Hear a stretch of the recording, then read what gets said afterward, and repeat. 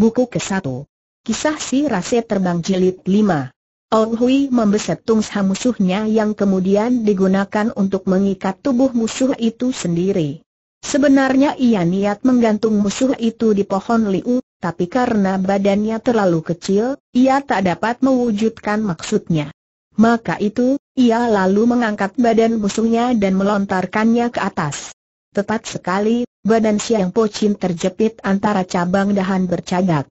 Dengan gemas Sou Hui memotes tujuh delapan batang cabang pohon liu yang lalu digunakan mengebat musuhnya. Siang Pocin gusar dan malu bukan main, tapi ia pun mengetahui bahwa tak gunanya meminta ampun. Sesudah Hou Hui menyabet kira-kira tiga puluh kali, Marit Hang sudah menyusul sampai di situ. Ia terperanjat melihat pemandangan itu dan untuk sementara, ia tak dapat mengeluarkan sepatah kata. Nonama, kata Hui sembari tertawa. Kau tak usah mintakan ampun. Sekarang juga aku ampuni dia ia tertawa terbahak-bahak. Walaupun baru berusia belasan tahun, Hui mempunyai sikap dan keangkeran seorang ksatria sejati. Ia melemparkan cabang-cabang liu itu dan berlalu dengan tindakan lebar. Sahabat kecil seru Hong, Siapa sebenarnya kau Hui memutarkan badannya dan menyahut dengan nyaring, Pertanyaan Nona tak dapat tak dijawab. Aku adalah Hui, putra Tai Hiao itu ia tertawa nyaring dan panjang, di lain saat, tubuhnya kecil kurus sudah menghilang di antara pohon-pohon liu. Marit Hang berdiri terpaku. Pengakuan Hui benar-benar mengagetkan. Berselang beberapa saat, baru si Nona bisa membuka suara. Xiang Xiao ya, katanya. Apakah kau bisa turun Siang Pocin coba berontak, tapi ia tak dapat memutuskan tali ikatan itu. Seluruh mukanya merah, tak dapat ia memberi jawaban. Sudahlah, jangan bergerak, kata pula It Hong. Kalau jatuh, kau bisa luka. Biarlah aku membantu, sehabis berkata begitu, ia segera memanjat pohon itu. Selagi ia manjat, mendadak terdengar bunyi tindakan kuda dan sejumlah penunggang kuda kelihatan mendatangi. Waktu itu, Fajar baru menyingsing dan udara masih agar gelap. Kenapa begini pagi orang-orang itu sudah melakukan perjalanan tanya si Nona di dalam hatinya. Dalam sekejap saja mereka sudah tiba di bawah pohon itu. Melihat seorang Nona memanjat pohon dan seorang lelaki yang terikat badannya, terjepit antara cabang dahan, mereka yang semuanya berjumlah sembilan orang menjadi heran bukan main. Jangan nonton seru Marit Hong, Pergilah sembari berkata begitu, Sinona loncat ke atas dan menjamret dahan pohon yang menjepit Siang Pocin. Sungguh edah ilmu mengentengkan badan itu puji salah seorang penunggang kuda. Buru-buru Marit Hang membuka ikatan Pocin dan menanya dengan suara halus, apakah kau terluka? Suara si Nona yang lemah lembut sangat menggirangkan hati Siang Pocin. Tak apa-apa, jawabnya, lalu ia meloncat turun, diikuti Marit Hong, Melihat sembilan orang itu kasak kusuk secara kurang ajar, Xiang Po Chin jadi sangat mendongkol. Ia melirik dengan sorot mata gusar. Mereka itu, ada yang tua, ada juga yang muda dan semua berpakaian indah serta bersikap garang. Di antara mereka terdapat seorang kongcu, putra orang berpangkat, yang berparas cakap dan baru berusia kira-kira 20 tahun, ia mengenakan jubah panjang yang berwarna biru, sedang kepalanya ditutup dengan sebuah topi kecil tertata dua butir mutiara sebesar telunjuk. Marit Hang yang semenjak kecil sudah mengikuti Piao Hang, mengenal baik batu-batu permata. Dari jarak beberapa tombak, kedua mutiara itu sudah terlihat sinarnya yang terang dan segera juga ia mengetahui bahwa mutiara itu berharga sangat tinggi. Ia merasa heran, Mengapa benda yang begitu mahal dicantumkan di topi? Apakah tidak takut jatuh hilang? Keheranan itu sudah membuat ia melirik beberapa kali. Di lain pihak, si Kongcu yang melihat kecantikan Mai Hong, lantas saja berdebar hatinya. Ia lalu berbicara bisik-bisik dengan seorang setengah tua yang segera manggut-manggutkan kepalanya dan kemudian tertawa berkakakan. Bangsat kecil itu tentunya juga telah mencuri, sehingga digantung di pohon, kata orang setengah tua itu. Mencuri apa celetuk seorang tua? apakah kau tak melihat, bahwa adiknya menolong dia suara si tua itu mengejek dan lagaknya tengik. Siang Pochin yang memang sudah mendongkol lantas saja naik darah. Sambil melompat, ia menggaplok. Jarak antara ia dan si tua tidak kurang dari setombak. Bahwa dengan sekali melompat, ia sudah dapat mengirimkan pukulan adalah di luar dugaan semua orang yang dengan terkejut, segera mundurkan tunggangan masing-masing. Si tua tentu saja tak sudi menerima hinaan di hadapan orang banyak. Ia meloncat turun dari tunggangannya dan coba menjamret baju Siang Pocin. Dengan cepat Siang Pocin menyambar pergelangan. Tangan orang tua itu, yang ternyata juga mempunyai kepandaian lumayan, sebab dengan sekali membalikan tangan, ia dapat mengelit sambaran Siang Pocin dan terus menyodok dengan lima jarinya. Di lain saat, mereka berdua sudah bertempur seru. Biarpun baru saja mendapat hajaran, Xiang Po Chin tidak mendapat luka pada otot atau tulangnya. Dengan penuh kegusaran, ia segera mengeluarkan ilmu silat Pat Kuaciangnya dan menyerang bertubi-tubi. Berselang beberapa saat, bagaikan kilat tinjunya mampir di pundak si tua yang lantas saja jadi sempoyongan. Elo Otio, coba mundur seluruh seorang kawannya. Berbareng dengan seruannya, dengan suatu gerakan indah, orang itu loncat turun dari pelana. Agaknya ia sangat disegani oleh si tua yang dengan sikap menghormat, buru-buru mundur ke belakang. Melihat gerakan orang itu yang luar biasa, Xiang Pochin lantas saja berwaspada. Muka orang itu berwarna ungu, parasnya angker dan badannya tinggi besar. Sambil menggendong tangan ia mengawasi Siang Pochin dan berkata, apakah kau murid Pat Kwa Bun? Siapa gurumu? Si Tai atau si Siang suara sombong dan lagak angkuh orang itu, sudah lebih menggusarkan Siang Pochin. Tak usah tahu ia membentak. Orang itu bersenyum. Mengenai orang-orang Pat Kwa Bun, aku justru berhak mencari tahu, katanya. Siang Pochin sebenarnya seorang yang sangat hati-hati. Tapi hari itu, berhubung dengan kemendongkolannya, ia tak dapat berpikir secara tenang lagi dan tidak bisa menangkap maksud tersembunyi dalam kata-kata orang itu. Demikianlah, dalam kegusarannya, dengan gerakan bek, lui tui te, geledek menyambar ke bumi, ia menghantam lutut orang itu. Yang diserang tertawa, kedua tangannya tetap digendong di belakang. Dengan sekali mengisarkan kaki kirinya, ia sudah dapat memunahkan serangan Siang Pochin. Melihat serangan pertamanya dipunahkan secara begitu gampang, Siang Pochin segera menyerang dengan ilmu Sin Pat Kwa Chiang. Kedua kakinya menginjak garis Pat Kwa, delapan segi, sedang kedua tangannya menghantar musuh dengan pukulan-pukulan berantai, yang satu lebih cepat dari yang lain. Tapi orang yang diserang itu tetap berlaku tenang kedua tangannya tetap berada di belakangnya, sama sekali ia tidak berkelit atau mengegos, hanya kedua kakinya berkisar ke sana sini dalam suatu lingkaran yang sangat kecil. Tapi sungguh heran, semua pukulan Siang Pocin jatuh di tempat kosong, tak pernah melanggar ujung bajunya. Orang itu seolah-olah sudah mengetahui, ke arah mana Siang Pocin akan memukul.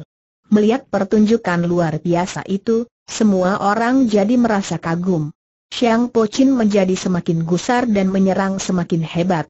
Tapi orang itu tetap meladeninya dengan caranya yang aneh. Perlahan Iahan putra Siang Kiam Beng ini mendapat kenyataan, bahwa kedua kaki musuhnya juga menginjak garisan Petkwa. Lantas saja ia ingat, bagaimana ibunya pernah menceritakan, bahwa dalam partai Pat Kwa Bun terdapat serupa ilmu yang dinamakan W.E. Pat Kwa, Pat Kwa dalam. Akan tetapi, orang yang ingin mempelajari ilmu tersebut, harus menyelami dulu ilmu GWA Pat Kwa, Pat Kwa luar.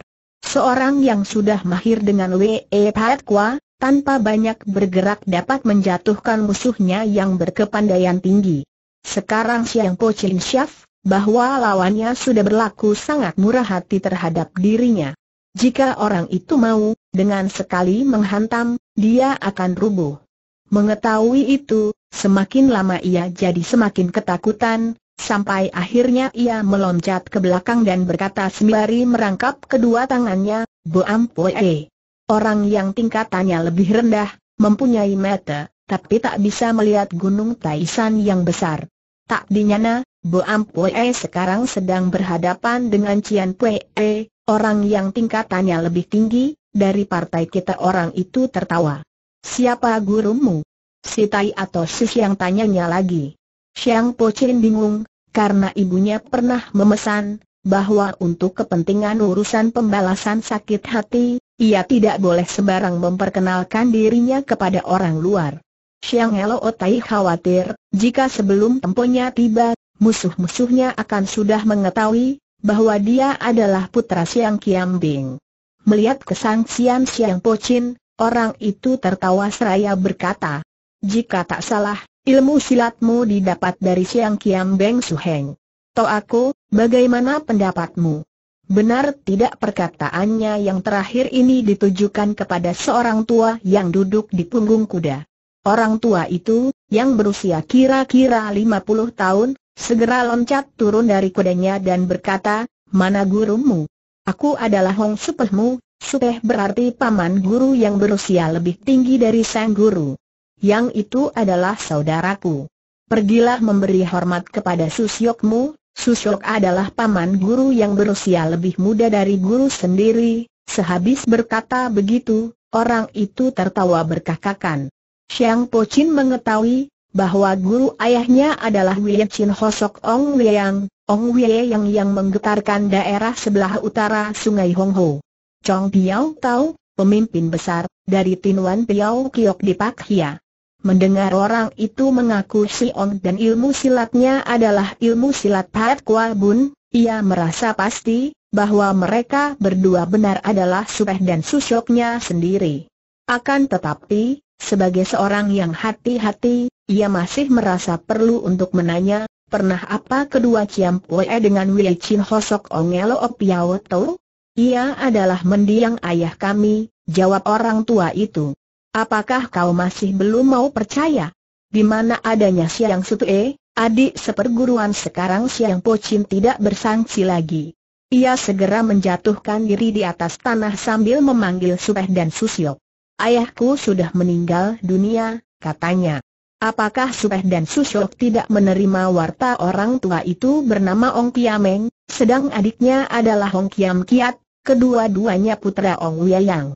Dulu, dengan sepasang tangannya dan sebilah golok pat kuatu, Ong Wei yang sudah menggetarkan seluruh kalangan rimba hijau, Liok Ling, di sebelah utara sungai Hong Ho, sehingga dalam kalangan Hek Tu, kalangan penjahat, terdapat kata-kata yang seperti berikut, lebih baik bertemu dengan Giam Loong, Raja Akhirat, daripada bertemu dengan Loong, orang tua Si Ong. Dari kata-kata ini dapatlah dibayangkan besarnya nama Ong Wei yang pada zaman itu.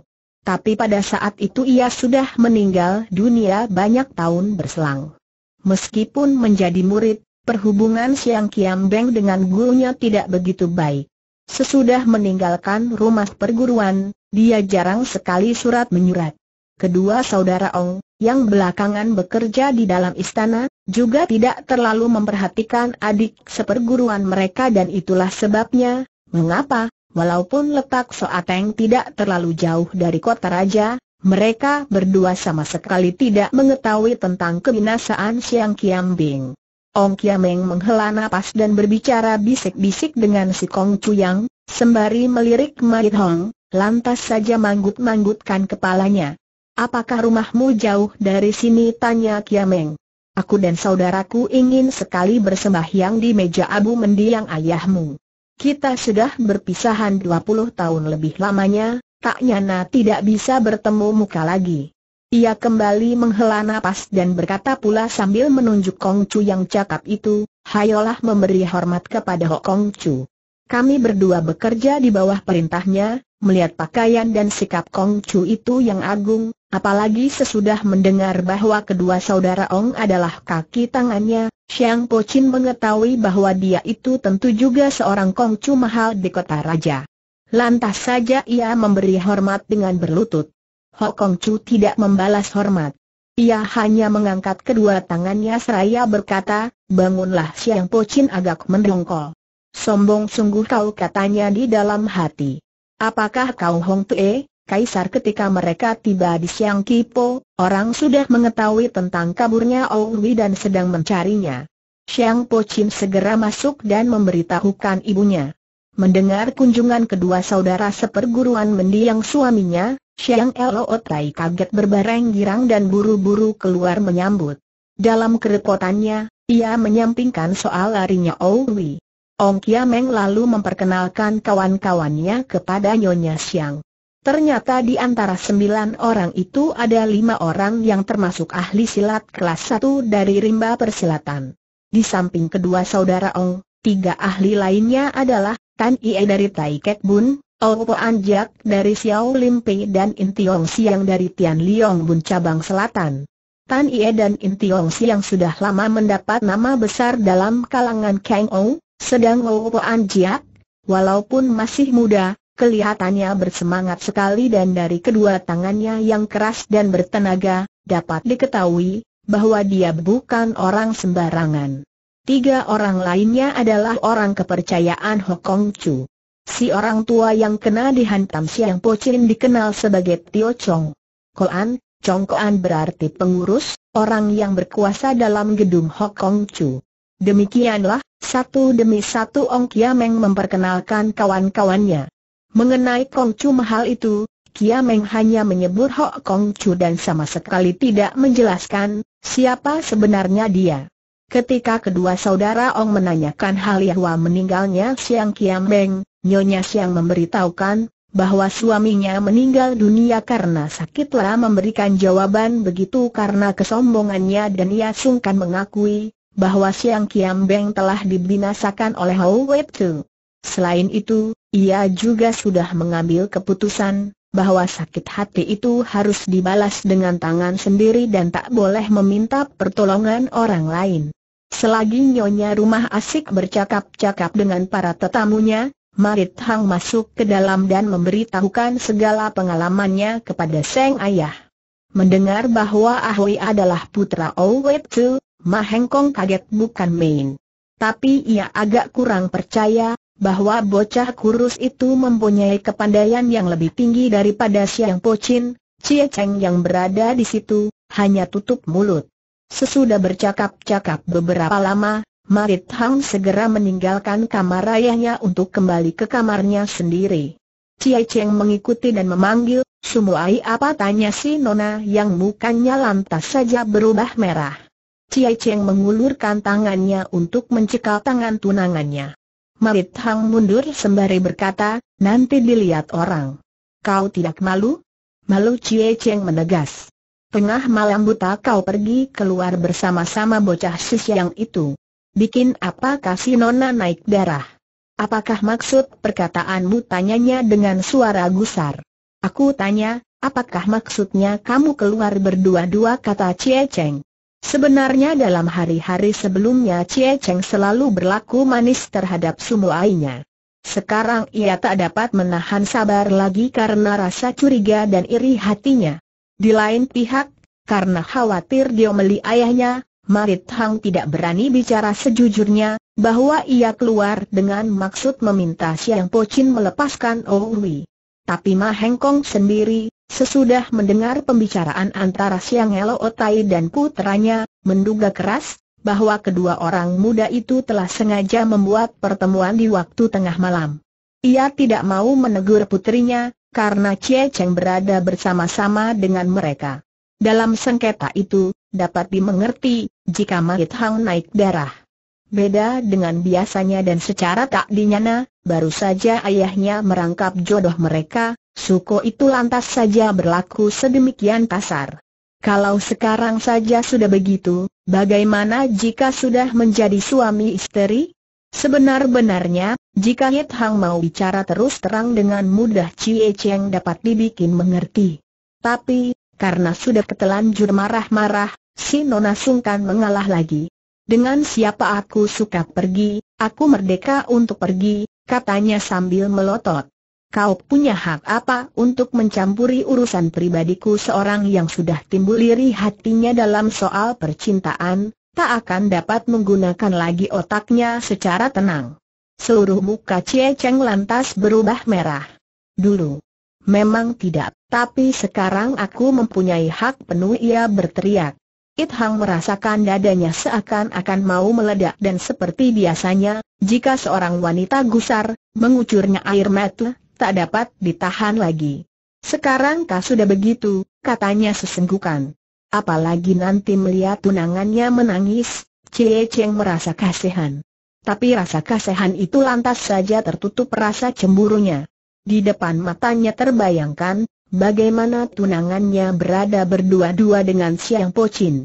Hinaan itu sungguh tak dapat ditelan olehnya. Kau bikin apa ia berteriak pula. Bilang. Hayo, bilang tapi semakin dikerasi, si Nona jadi semakin kepala batu. Pada saat itu, secara kebetulan, atas perintah ibunya, Siang Pocin masuk ke dalam untuk mengundang Ma Heng Kong menjumpai kedua saudara Ong. Melihat Chie Cheng dan Mahit Hang sedang bertengkar, tanpa merasa ia menghentikan tindakannya. Kedatangan Siang Pocin adalah seolah-olah ular mencari penggebuk. Chie Cheng yang sedang mata gelap dan diliputi rasa cemburu, lantas saja menumpahkan amarahnya di atas kepala pemuda sisiang itu. Biar aku mampuskan kau, anak anjing ia berteriak sembari menerjang. Siang Pocin kau tanyanya. Menjadi gelagapan. Eh eh, kenapa? Karena diserang secara tidak diduga-duga, dadanya kena dihajar telak oleh tinju Cie Cheng. Ia terhuyung dan sesudah lawannya mengirimkan pukulan ketiga, baru ia dapat membela diri. Di lain saat, mereka sudah bertempur dengan serunya. Marit Hang yang sedang mendongkol dan penasaran, lantas saja berjalan pergi tanpa memperdulikan bagaimana kesudahan pertempuran itu. Dengan pikiran kusut, ia menuju ke taman bunga yang terletak di belakang gedung dan duduk terpekur di sebuah kursi batu. Apakah seumur hidup aku harus menyerahkan nasibku ke dalam tangan seorang yang begitu macam katanya di dalam hati? Sekarang saja, sedang ayah masih hidup, ia sudah berani berbuat begitu. Apalagi nanti, jika ayah sudah menutup mata mengingat begitu, tanpa merasa air matanya turun berketel-ketel di kedua pipinya. Entah berapa lama ia sudah duduk bengong di situ, ketika tiba-tiba, kupingnya menangkap bunyi seruling yang keluar dari semak-semak pohon bunga. Dalam suasana sunyi senyap, sungguh merdu terdengarnya bunyi seruling itu. Hati si Nona jadi berdebar-debar. Semakin didengar, tiupan lagu itu semakin merdu. Perlahan-lahan ia berdiri dan berjalan ke arah bunyi itu.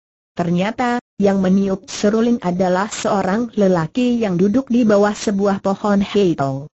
Ia mengenakan tungsha, jubah panjang, warna biru, sedang serulingnya yang terbuat dari batu giok berwarna sama dengan kedua tangannya yang putih halus. Lelaki itu bukan lain daripada Hokong Chu. Sambil terus meniup serulingnya, Hokong Chu mengangguk, Maksudnya agar si Nona maju terlebih dekat.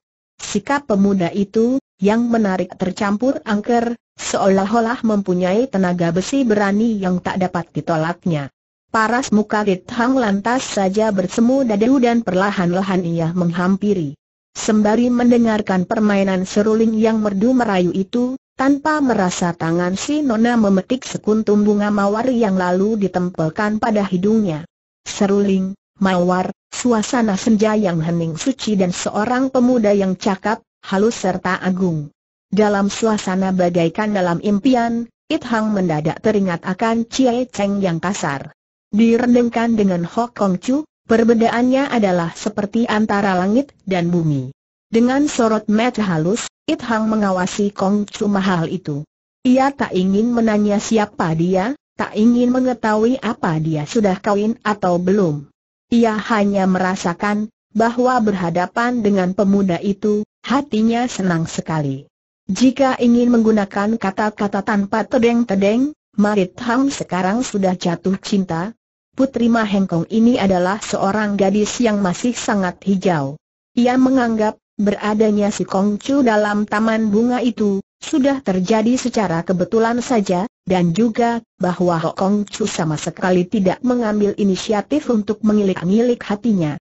Tentu saja, ia tidak mengetahui, bahwa jika bukan karena kecantikannya, Hokong Chu pasti tidak akan mampir di rumah Siang Kiam Beng. Apakah artinya Siang Kiam Beng bagi seorang Kongcu yang semahal dia? Tentu saja, Marit Hang tidak mengetahui, bahwa jika ia tidak duduk bengong di taman bunga, Hokong Chu pasti tidak meniup serulingnya. Harus diketahui, bahwa di kota raja, bukan main kesohornya kepandaian meniup seruling Hokong Chu.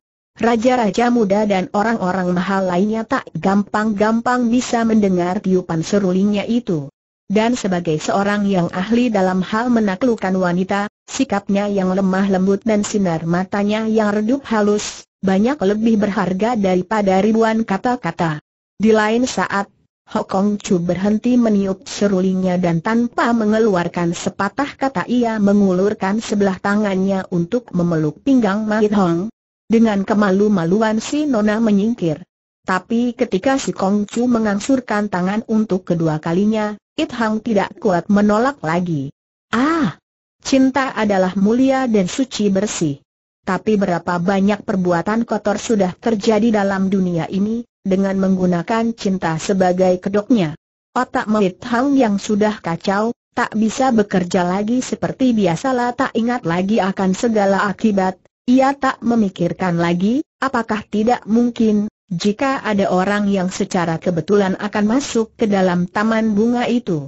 Tapi, si Kong Chu Mahal sendiri, sebelum masuk ke taman, sudah memperhitungkan itu semua.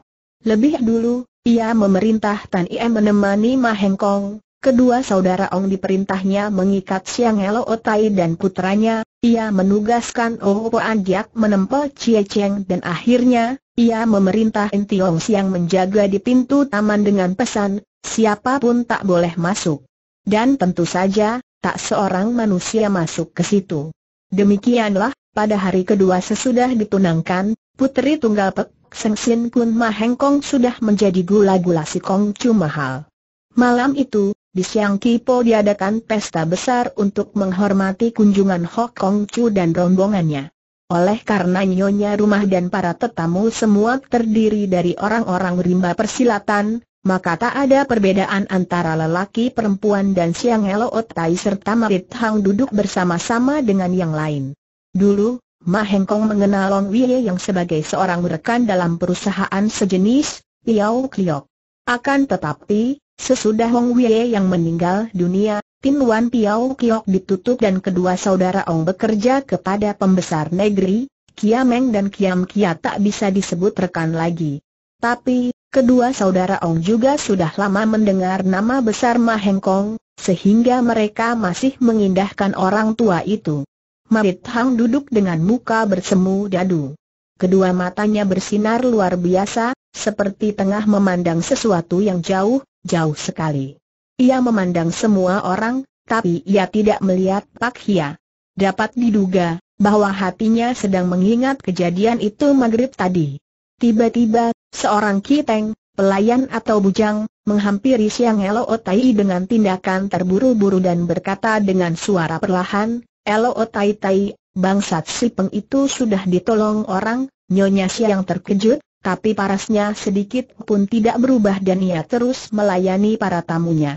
Sekonyong-konyong, bagaikan halilintar di tengah hari olong-olong, dengan suatu suara gedubrakan, Dua belah daun pintu depan terpental dan jatuh di lantai.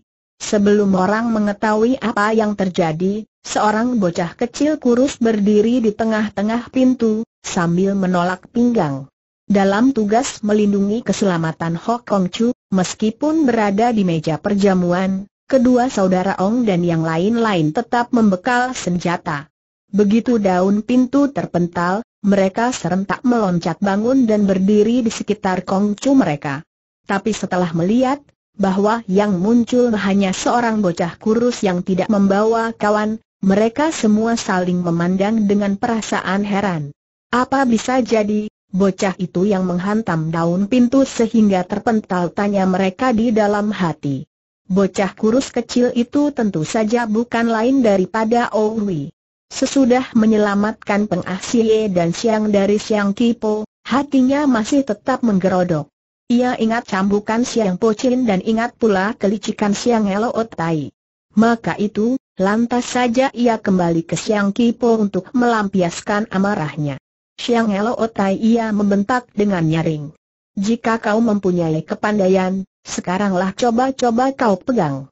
Diriku badannya kecil kurus, suaranya masih seperti suara anak-anak, tapi sikapnya adalah sikap ksatria. Begitu melihat anak musuh besarnya, kedua mata Nyonya Siang seperti juga mengeluarkan api. Kau potong jalan mundurnya jangan membiarkan dia lari, ia berbisik di kuping putranya.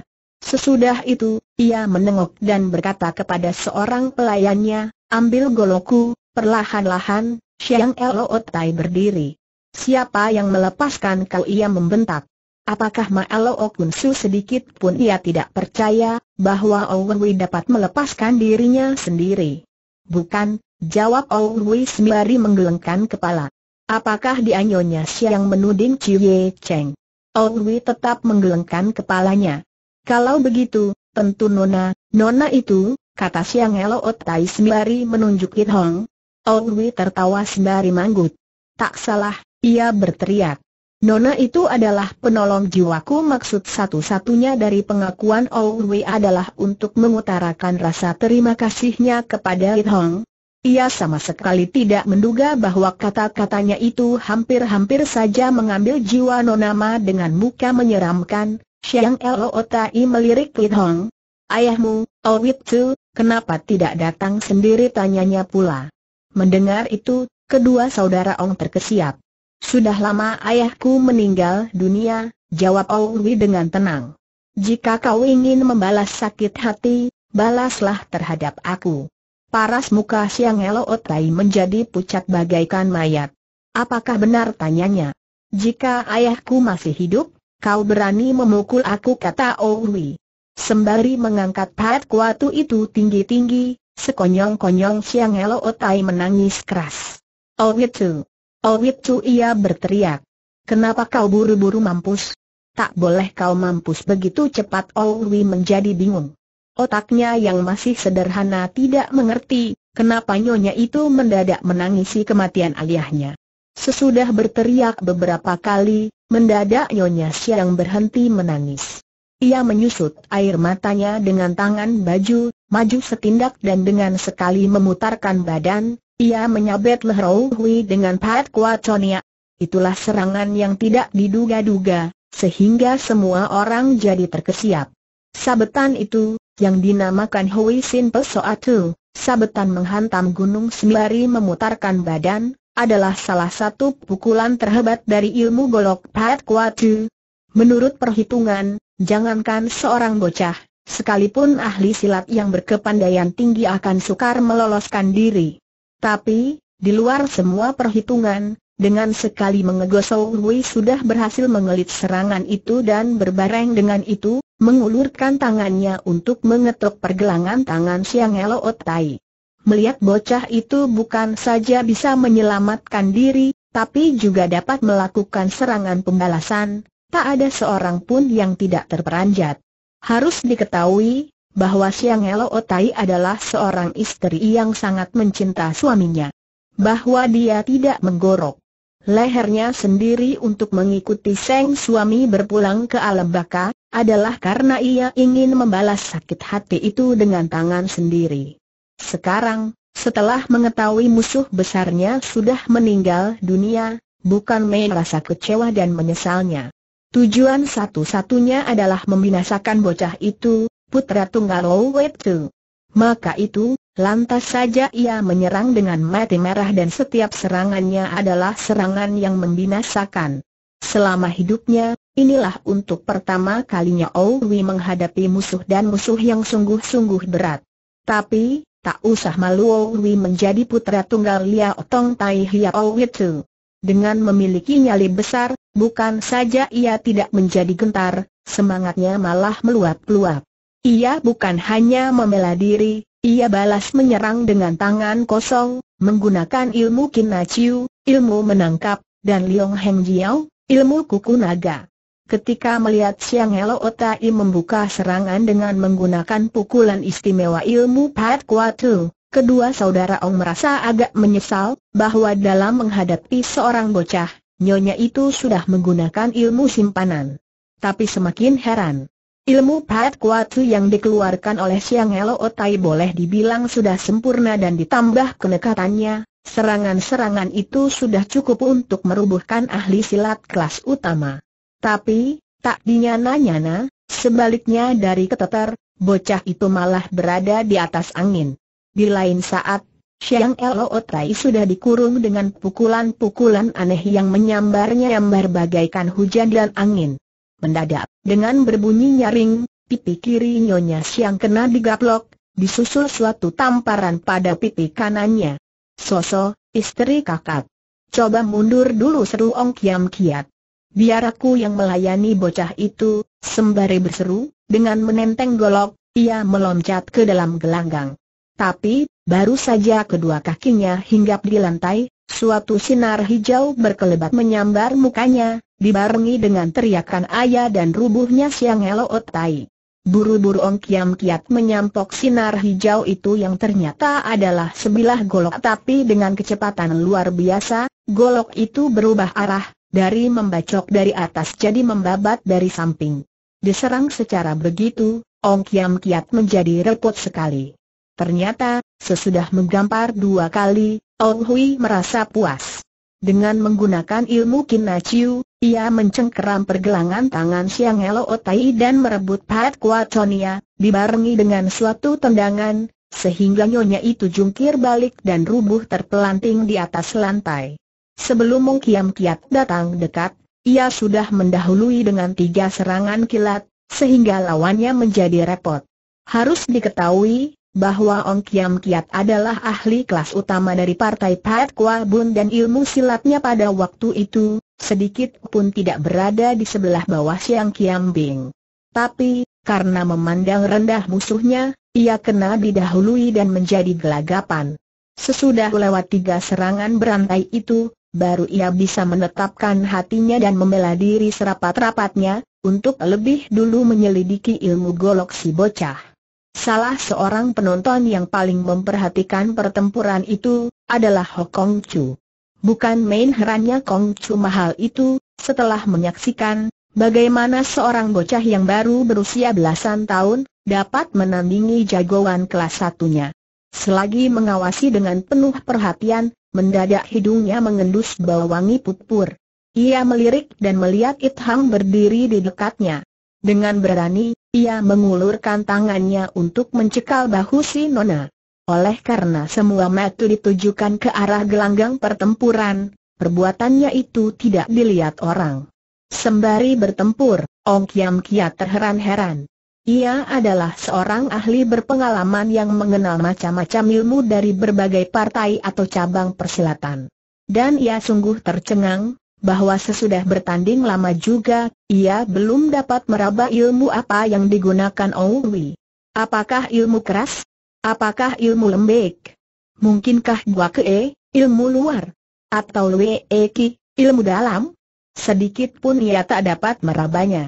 Yang merupakan kenyataan adalah, bocah itu teguh bagaikan gunung, lunak seperti air dan cepat laksana kilat. Sesudah lewat lagi beberapa saat, Kiam Kiat menjadi bingung.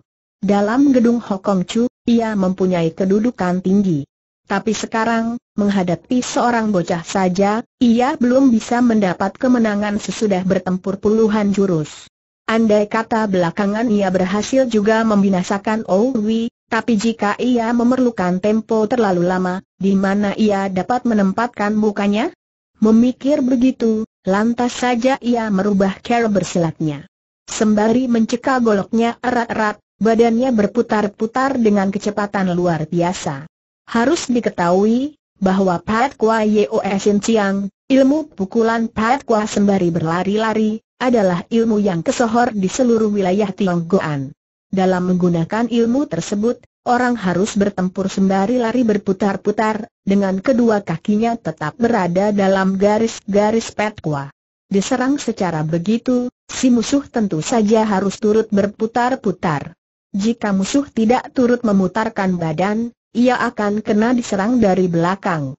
Demikianlah, bagi orang yang tidak terlatih, dalam tempo cepat, matanya akan berkunang-kunang. Ilmu itu adalah salah satu ilmu yang paling lihai dalam rimba persilatan.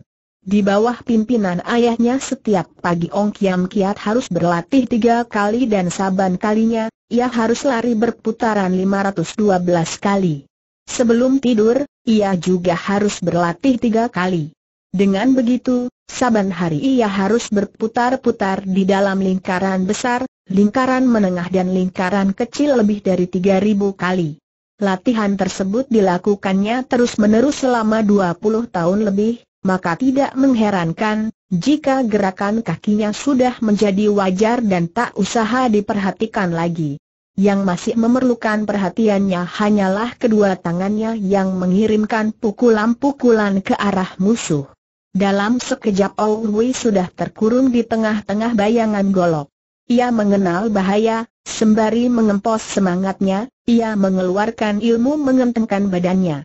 Dengan kegesitan dan kelincahannya, loncat kian kemari untuk meloloskan diri dari serangan-serangan yang luar biasa itu. Mahengkong mengawasi dengan rasa kaget dan heran. Sungguh malu katanya di dalam hati. Tak dinyana, Bayangan yang kulihat adalah bayangan bocah itu. Jika tidak bertemu dia, aku tentu tidak mengetahui kebusukan Siang Elo Tai. Macan yang bersembunyi di Siang Kipo ternyata bukan lain daripada anak kurus itu. Ah! Seumur hidupku aku berkelana di dunia Kang Ou, tapi masih bisa salah mata. Sembari berpikir begitu, kedua matanya menyapu seluruh ruangan. Mendadak ia mendapat kenyataan, bahwa puterinya dan muridnya tidak berada di dalam ruangan tersebut. Benar gila katanya dengan menyongkol. Selama hidup, berapa kali orang bisa menyaksikan pertandingan yang begini seru? Tapi orang muda hanya mengingat soal percintaan. Kalau sudah menjadi suami istri, bukankah masih ada banyak tempo untuk bercakap-cakap siang hari malam tapi Malo Otiau tahu salah menduga. Memang benar Mahit Hang keluar untuk bercinta-cintaan, tapi tidaklah benar ia bercinta-cintaan dengan tunangannya. Sekonyong-konyong, berbareng dengan suatu bunyi nyaring, lelatu api berhamburan ke empat penjuru, akibat bentrokan golok kedua orang yang sedang bertempur itu. Begitu kedua golok mereka kebentrok, Ong Kiam Kiat menjadi girang. Ah katanya di dalam hati. Meskipun ilmu silatnya cukup tinggi, tenaga bocah ini masih terlalu kecil.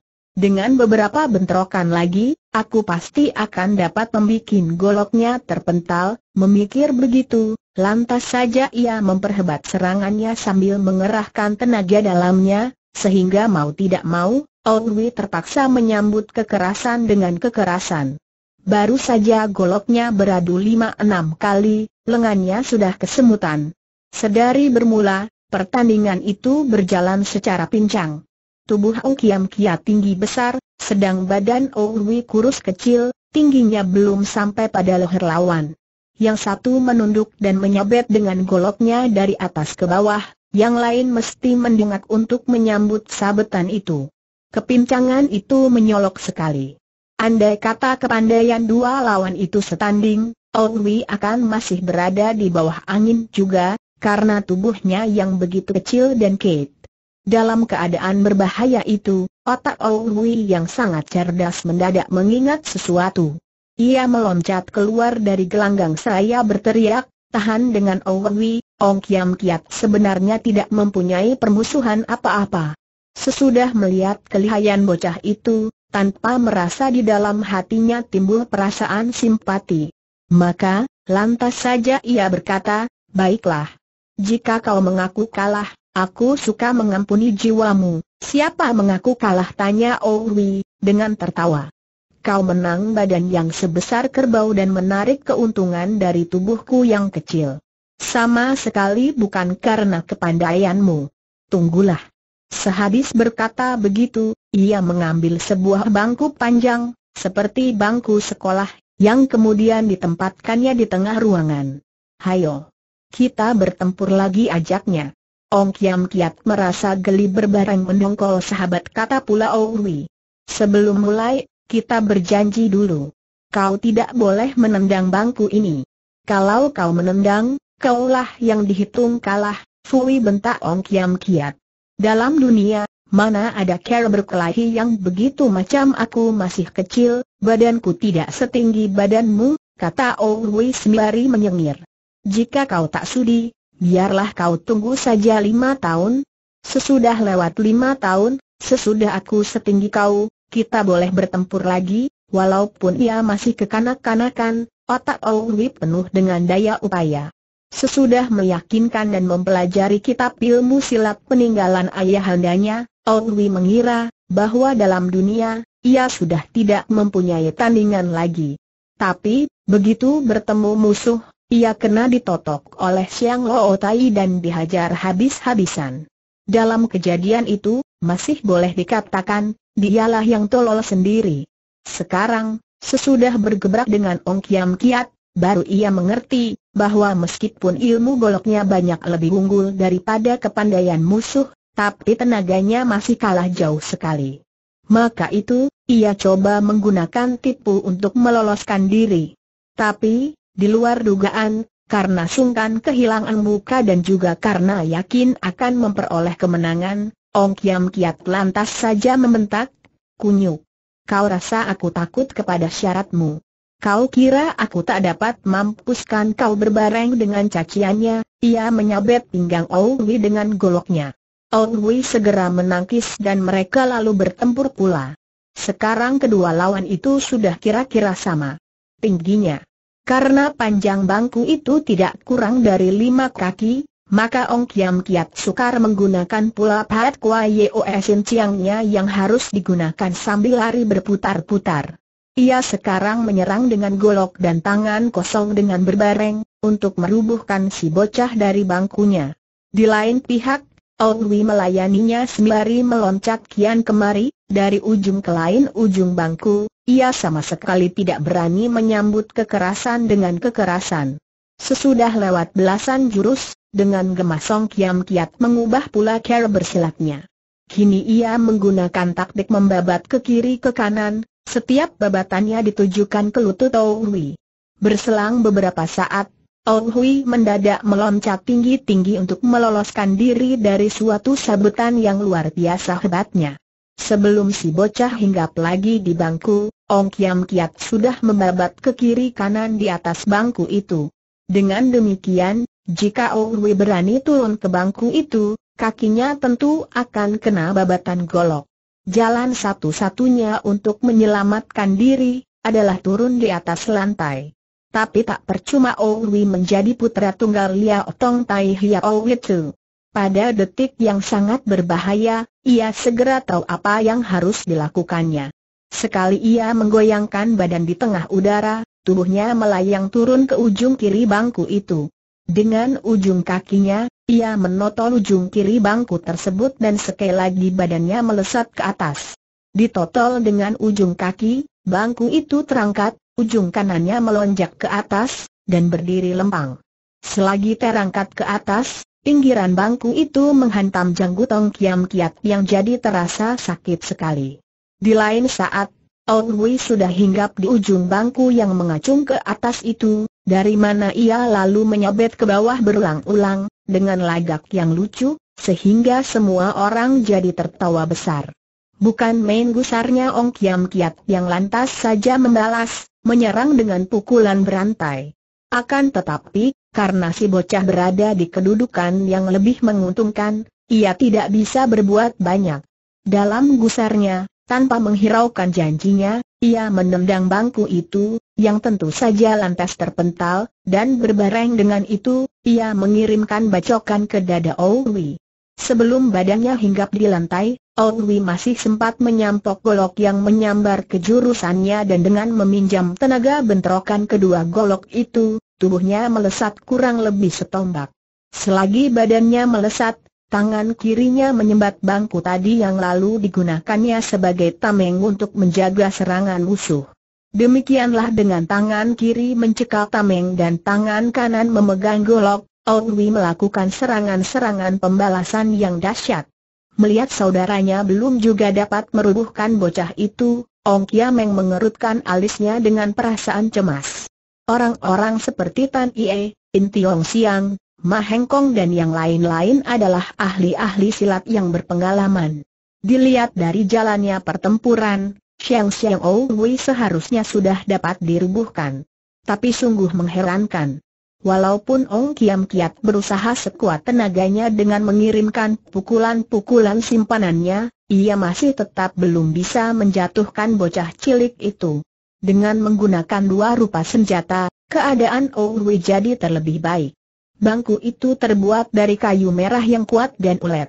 Beberapa bacokan hebat yang dikirimkan oleh Ong Kiam Kia tak dapat memutuskan bangku tersebut. Di lain pihak, dengan bersembunyi di belakang tameng itu, Ong Hui melakukan serangan-serangan pembalasannya. Kunyuk bentak Ong Kiam Kiat. Kau mesti diajar mengenal kelihayan tuan besarmu sembari membentak, iya. Membabat dengan sepenuh tenaganya. Krok goloknya menancap di bangku yang hampir-hampir menjadi putus. Buru-buru Kiam Kiat menarik pulang senjatanya, tapi kayu merah yang keras itu seakan-akan menggigit goloknya. Ia terkesiap dan segera mengerahkan tenaga dalamnya untuk membetot sekali lagi. Pada detik itulah, tanpa menyia-nyiakan kesempatan baik ini, Ong Hui menikam kempungan lawannya. Bukan main terkejutnya Ong Kiam Kiat. Golok Hui yang menyambar bagaikan kilat dari jarak yang sangat dekat, tak dapat dikelitnya lagi, sedang senjatanya sendiri masih menancap di bangku. Pada saat yang berbahaya itu, Kiam Kia tidak mempunyai jalan lain daripada melepaskan senjatanya dan loncat mundur secepat mungkin. Ong Kiam Kiat merasakan dadanya seperti mau meledak. Gusar dan malu bercampur menjadi satu. Dengan mata merah, lantas saja ia menyerang dengan tangan kosong secara nekat-nekatan. Harus diakui, bahwa Ong Kiam Kiat adalah seorang ahli silat yang sangat lihai. Menghadapi serangannya yang datang bertubi-tubi, Ong Hui yang bertenaga kecil, lantas saja jadi keteter. Dengan mencekal bangku, gerakannya jadi agak lambat dan sesudah lewat belasan jurus, pundaknya kena dipukul sehingga ia terhuyung dan hampir-hampir terguling di atas lantai. Melihat jago cilik itu kepukul, tanpa merasa para penonton mengeluarkan seruan tertahan. Sambil menahan sakit, Ong Hui melepaskan bangku itu dan tangannya menyambar gagang golok yang menancap di kayu itu. Sekali ia menendang, golok itu copot dan bangku tersebut terpental menyambar Ong Kiam Kiat. Dengan gemas, Kiam Kiat menggunakan kedua tangannya untuk memapaki bangku itu yang lantas saja patah menjadi dua. Di lain pihak, dengan mencekal dua batang golok, Ong lantas saja menyerang sehebat-hebatnya. Dengan tangan kosong menghadapi dua batang golok, sedikit pun Ong Kiam Kia tidak menjadi gentar. Beberapa saat kemudian, berbareng dengan terdengarnya suatu teriakan, golok Ong yang di tangan kiri, sudah kena dirampas. Kiam Kiat melemparkan senjata itu ke lantai dan tetap menyerang dengan tangan kosong. Dengan mempunyai latihan 20 tahun lebih, ilmu silat tangan kosong Ong Kiam Kiat sungguh-sungguh dahsyat. Xiang Po Chin mengawasi pertempuran itu dengan perasaan kecewa tercampur girang. Kecewa, oleh karena sesudah belajar bertahun-tahun dan menduga ilmunya sudah cukup tinggi, pada hari itu ia mendapat kenyataan, bahwa dibandingkan dengan kepandaian paman gurunya, apa yang dimilikinya, sama sekali tidak berarti. Ia girang karena melihat lihainya ilmu silat Pat Kwabun. Ia merasa, bahwa jika ia belajar terus dengan giat, suatu waktu, benar-benar ia akan mempunyai kepandaian yang tinggi.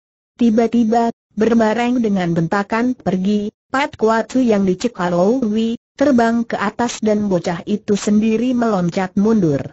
Sambil merangkapkan kedua tangannya, Ong Kiam Kiat segera bergerak untuk melancarkan serangan-serangan yang membinasakan. Ong Hui tahu bahwa ia tak dapat bertahan lebih lama lagi. Tapi, sebagai seorang yang banyak tipu dayanya, sekonyong-konyong ia tertawa terbahak-bahak sembari menuding lawannya. Ong Kiam Kiat heran, gerakan tangannya lantas saja berhenti. Bocah! Kenapa kau tertawa tanyanya? Bala bantuanku datang jawabnya, sembari tertawa. Sekarang aku tidak takut lagi kepada kamu semua, Ong Kiam Kia terkejut dan sebelum ia dapat memikir lebih lanjut, Ong Hui sudah berkata, aku mau menyambut bala bantuanku. Kamu boleh tunggu. Jangan lari selagi Kiam Kiat bersangsi, dengan tindakan lebar ia menuju ke pintu, untuk segera melarikan diri. Ketika itu, Xiang Elootai sudah memungut Pat Kuaconnya yang dilemparkan Owi. Dengan sekali melompat, ia menghadang di tengah jalan.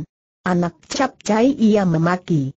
Kau mau lari tapi ia tak berani terlalu mendesak, karena mengetahui bahwa ilmu silat Owi masih lebih tinggi daripada kepandaiannya. Pada saat itu, lapat-lapat terdengar tindakan kuda yang dikaburkan ke arah Siang Kipo. Dalam suasana yang sunyi, walaupun jauh, bunyi menderap itu kedengaran nyata sekali. Semua orang memasang kuping. Tindakan kuda itu deras bagaikan turunnya air hujan. Semua orang yang berada di situ adalah ahli-ahli silat yang selalu selulup timbul dengan senjata dan kuda. Mendengar bunyi yang luar biasa itu, di muka mereka lantas saja terlukis keheranan mereka. Dalam sekejap, kuda itu sudah tiba di depan gedung. Di luar lantas saja terdengar suara bentakan para pegawai siang keepo, suara terbukanya pintu pekarangan depan, suara beradunya senjata dan jatuhnya beberapa tubuh manusia. Sedang semua orang masih tercengang, di depan pintu ruangan pesta sudah muncul seorang yang baru datang.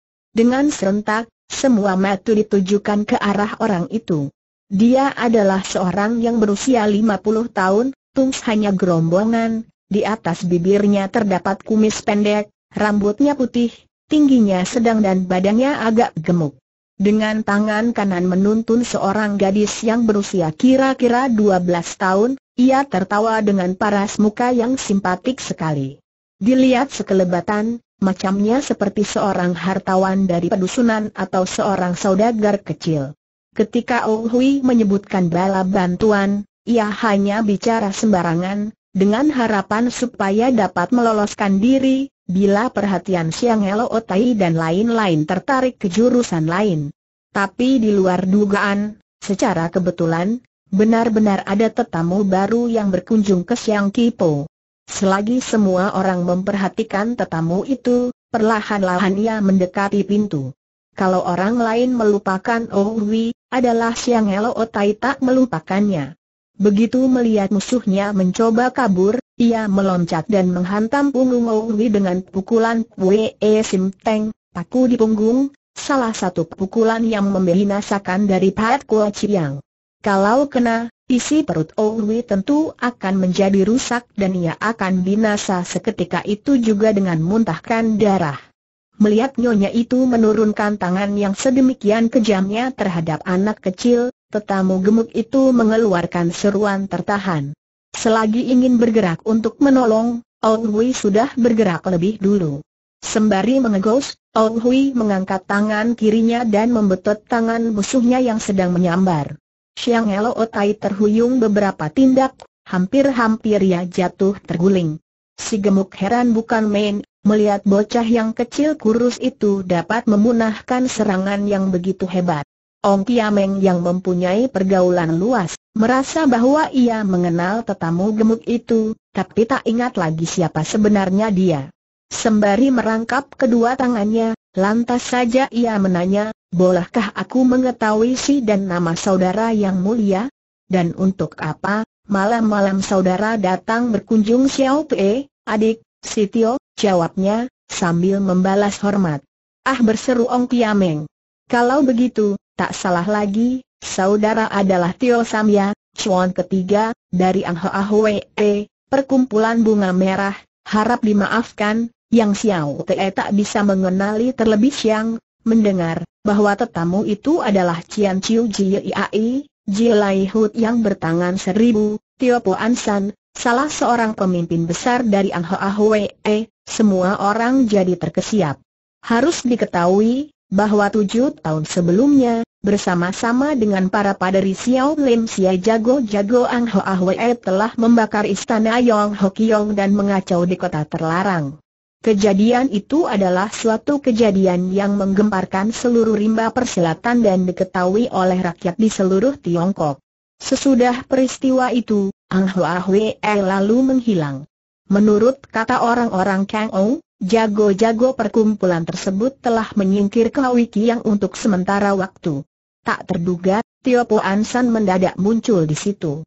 Di waktu masih muda, Kia Meng pernah bertemu dengan Po Ansan di Piau Kiok mendiang ayahnya, tapi pertemuan itu sudah berselang 20 tahun lebih dan paras muka Po Ansan sudah banyak berubah, sehingga ia tidak lantas dapat mengenalinya.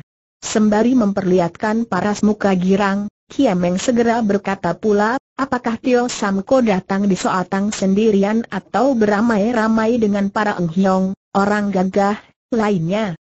Di waktu masih hidup, mendiang ayahku sering sekali menyebutkan kelihayan para Enghyong dari Anghoa Hwe yang sangat dikaguminya. Tio Po Ansan adalah seorang yang beradat sabar dan berhati mulia serta bisa bergaul dengan siapa pun juga. Mendengar pertanyaan itu, lantas saja ia menjawab dengan sikap simpatik, Xiao Pei datang seorang diri untuk suatu urusan pribadi. Bolehkah aku menanya, siapa ayah saudara? Setelah mengetahui bahwa Po San datang seorang diri, hati Kiameng menjadi lebih lega. Ia membungkuk dan menjawab, ayahku adalah pemimpin dari Tinuan Piao Kiok, ah Po San memotong perkataan orang. Kalau begitu, saudara adalah putra Ong Lo Piao Tau. Aku dengar, Ong Lo Piao Tau sudah meninggal dunia. Apakah benarlah mengucapkan kata-kata itu dengan wajah berduka? Mendiang ayahku telah meninggal dunia enam tahun berselang, sahut Kiameng.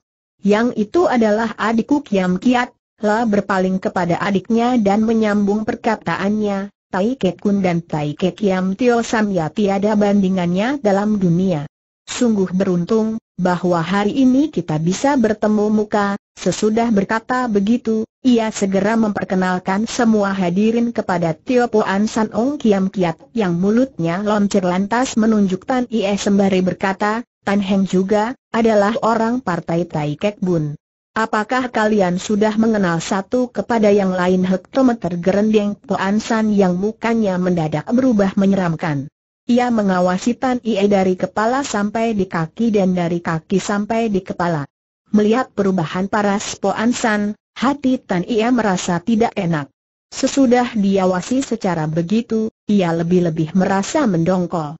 Sekonyong-konyong, Si gadis kecil yang dituntun Tio Po San menuding Tan Ie sembari berteriak, Tio Siok Siok. Benar dia. Benar dia suaranya yang nyaring penuh dengan kegusaran. Tan Ie kaget berbareng heran. Belum pernah ia bertemu dengan gadis cilik itu yang berkulit agak hitam. Lantas saja ia menengok kepada Kiam Kiat seraya berkata, Tio Samya adalah dari Tai Kek Bun di Unciu, cabang selatan. Aku sendiri adalah dari Tai Kek Bun di Kongpeng. Kami berdua hanya sama-sama menjadi anggota satu partai dan bukan dari satu cabang. Tio Samya adalah tertua kami yang sangat dikagumi olehku, ia mendekati sambil mengangsurkan tangan. Tapi Po San menggerakkan kedua tangannya ke belakang, seolah-olah tidak melihat angsuran tangan itu, dan memutarkan badan ke arah Kiameng seraya berkata, Saudara Ong, Hari ini Xiao Pei datang mengacau dan lebih dulu Xiao Pei ingin meminta maaf kepada saudara-saudara sekalian, ia menyoja kepada semua orang yang lantas membalasnya. Janganlah Tio Samya berlaku begitu sungkan, kata mereka. Dapat dimengerti jika sikap Tio Po San seakan-akan segayung air dingin yang mengguyur kepala Tan Ie. Lagi kapan aku berdosa terhadapmu katanya di dalam hati. Namamu memang besar, tapi, apakah kau kira aku takut padamu sesudah memperkenalkan semua orang? Kiameng menunjuk Ong Hui sembari berkata, saudara kecil itu mempunyai sedikit ganjalan dengan Te Huku, istri adik. Ganjalan itu telah dibuat oleh ayahnya. Sekarang, sedang suteku sudah meninggal dunia lama sekali, dengan memandang muka Tio Samya, urusan ini lebih baik jangan disebut-sebut lagi. Bagaimana kalau kita sudahi saja ia menutup keterangannya dengan tertawa besar. Harus diketahui, bahwa Ong Kiameng dan Siang Kiam Beng memang tidak begitu akur. Ia sebenarnya sama sekali tidak mempunyai minat untuk membalaskan sakit hati saudara seperguruan itu. Dan sekarang, di hadapan Tio Po Ansan, Ia ingin menunjukkan kebaikan hatinya tapi Tio Po San yang tidak mengerti duduknya persoalan, tentu saja merasa heran. Di lain pihak, Xiang Lo Tai lantas saja naik darah. Tak peduli Tio Po San atau Tio Itsan, Po San berarti setengah gunung, Itsan berarti satu gunung, tak boleh menjual lagak di Siang Kipo ia berteriak. Apakah arti perkataan Ong Heng tanyanya?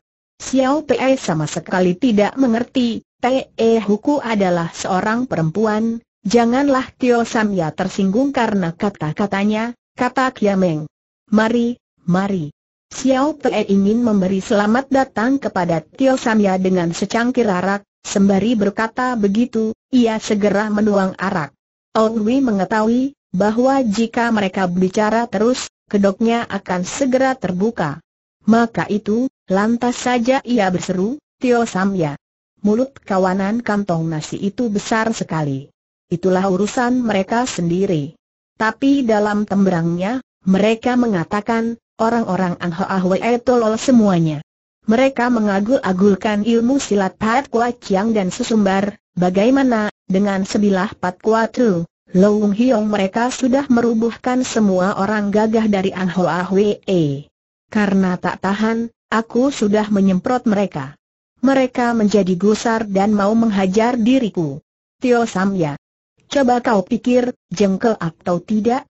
Dalam urusan ini, aku mengharapkan pertimbanganmu yang adil. Tio Po San yang tidak mengetahui apa yang sedang diributi mereka, jadi terlebih bingung. Tapi memang benar, dulu Ong Wei yang pernah kebentrok dengan Ang Hoa Hue. Tapi urusan itu sudah dibereskan oleh pihaknya dengan menggunakan tipu, sehingga Ong Wei yang mengaku kalah, tanpa bertempur.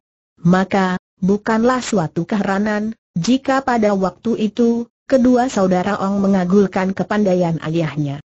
Ia lantas saja tertawa dan berkata, kepandaian Ong Lo Piao tahu memang sangat tinggi dan kami semua saudara merasa sangat kagum. Tiba-tiba, sorot matanya yang seperti kilat mengawasi Tan Ie. Tan Suhau, katanya. Harapkah suka mengikut aku keluar untuk membicarakan suatu urusan? Tan Ie tercengang dan segera menjawab, aku dan Tio Samya belum pernah saling mengenal. Ada urusan apa yang mau dibicarakan? Semua orang yang berada di sini adalah bangsa ksatria. Kalau ada sesuatu, baiklah Tio Samya bicara di sini saja, Tio Po San tertawa dingin Dena berkata, urusan yang mau dibicarakan adalah urusan yang memalukan partai Tai Kek Bun. Guna apa orang luar turut mendengar paras muka Tan Iai berubah pucatlah mundur setindak dan berkata dengan nyaring, kau adalah orang dari Tai Kek di Unciu, sedang aku adalah dari Tai Kek di Kongpeng. Kita hanya separtai dan bukan secabang. Aku tidak boleh campur tangan dalam urusanmu, sedang kau pun tak boleh mencampuri urusanku, karena tangan Tan Heng terlalu lihai dan dalam kalangan Tai Kek Bun di Kong Peng, tak ada orang yang berani keluar, maka tanpa memperdulikan perjalanan Laksaan Li, dari Huiki yang aku datang ke sini, kata Tio Po San lebih dulu Xiao Te pergi ke Pakhia dan mendengar Tan Heng pergi ke Soatang, maka aku segera menyusul. Benar juga orang kata, bahwa jala langit besar sekali, mendengar perkataan jala langit besar sekali, semua orang jadi terkejut dan menanya di dalam hati, kedosaan apa yang sudah dilakukan Tan Ie, sehingga Tio Samya mencarinya dari tempat yang begitu jauh. Tan Ie yang bertubuh jangkung kurus, mempunyai kepandaian yang cukup tinggi dan sudah lama mendapat nama besar dalam kalangan Kang Ou. Walaupun namanya tidak semasyhur Tio Po San, tapi ia adalah salah seorang tokoh terkemuka dari Tai Kek Bun cabang utara. Ditambah dengan Hok Kong Chu sebagai sanderanya, sedikit pun ia tidak merasa keder terhadap Tio Samya. Maka itu, lantas saja ia membentak, Tio Po San. Aku menghormati kau sebab usiamu yang lebih tua. Kau dan aku, dari cabang selatan dan utara, masing-masing mempunyai keunggulan sendiri. Jangan kau coba-coba menggencet aku, berbareng dengan perkataannya, ia menghantam pundak Tio Po San dengan pukulan Dewi menenun kain. Pukulan Tai Kek cabang utara itu, yang dalam kelembutan mengandung kekerasan, memang hebat luar biasa. Tapi ketika itu, ilmu silat Tio Po An San sudah dilatih sampai di puncak kesempurnaan. Begitu tangan musuh menyambar, ia berjongkok dan menyambut dengan pukulan Enciu, tangan awan.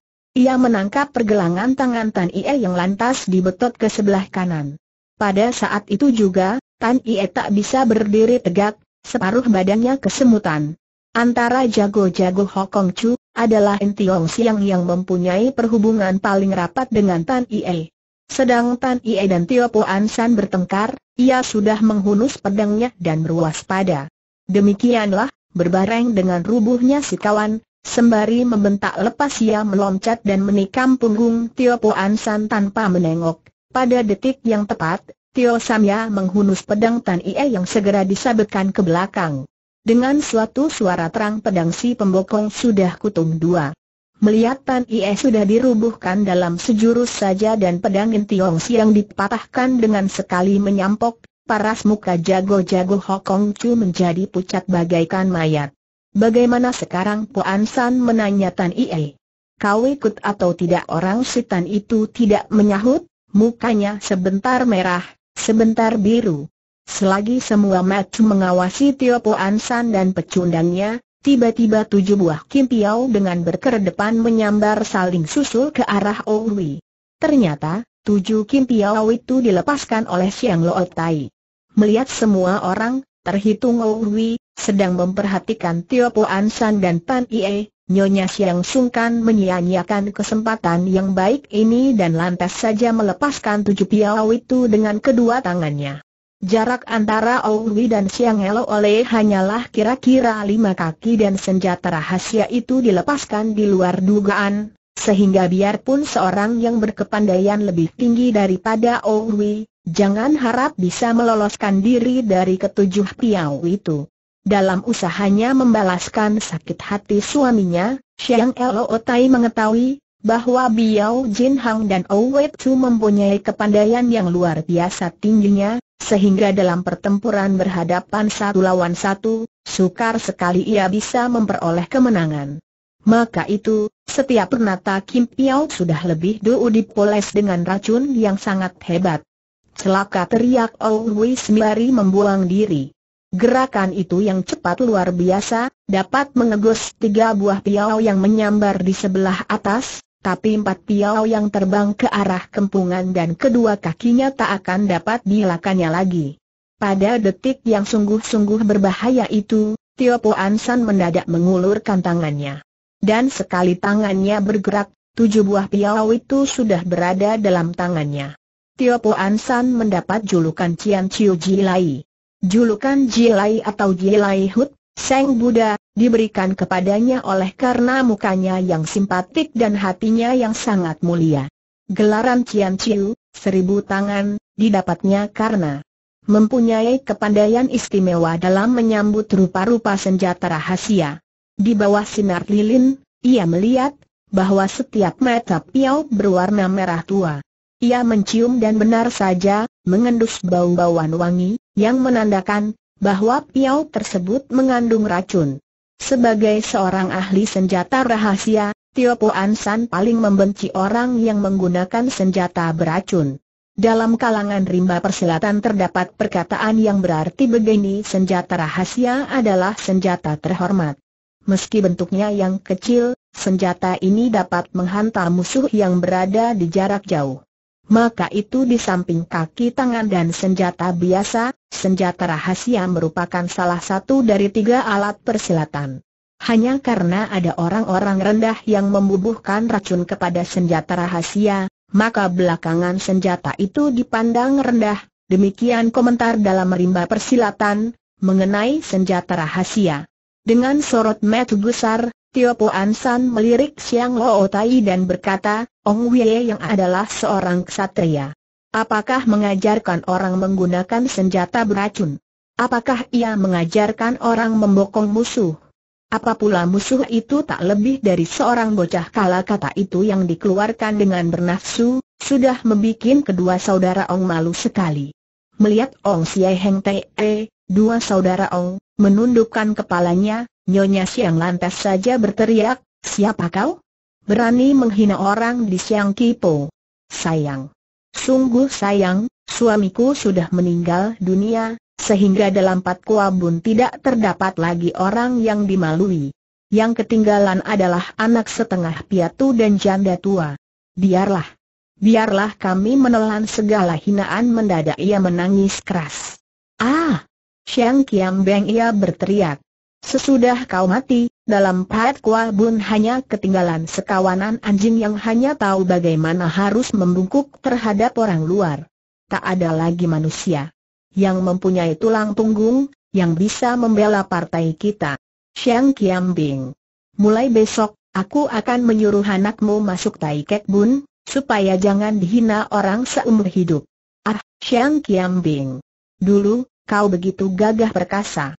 Jika ku tahu bakal mengalami kejadian seperti hari ini, aku tentu sudah masukkan Pat Kuatu ke dalam peti mati sembari sesambat, ia mencaci dan lalu melemparkan Pat Kuatu, yang kemudian diinjak-injak dan diludahinya. Muka kedua saudara Ong menjadi merah padam, bahna gusar dan malu, akan tetapi mereka tak berani bertengkar dengan Siang Elo Otai di hadapan orang banyak. Sebenarnya, Tio Po An San ingin lekas-lekas berlalu dengan membawa Tan Ie.